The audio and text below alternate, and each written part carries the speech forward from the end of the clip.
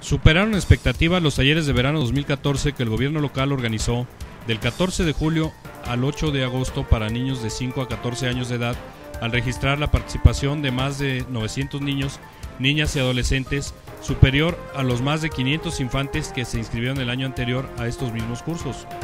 Así lo manifestó el presidente municipal de Uruapan, Aldo Macías Alejandres, al clausurar de manera oficial dichos talleres en el marco del Festival Artístico y Cultural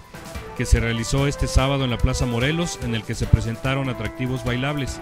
coros de niños y niñas, exhibición de jazz, de guitarra y violín, cuentacuentos, además de trabajos de manualidades como de lo aprendido en esta actividad. Acompañada por la presidenta honoraria del sistema DIF Uruapan, la señora Ana Luisa Cervantes de Macías, eh, del jefe de inspector de la Policía Federal y encargado de la Secretaría de Seguridad Pública Municipal,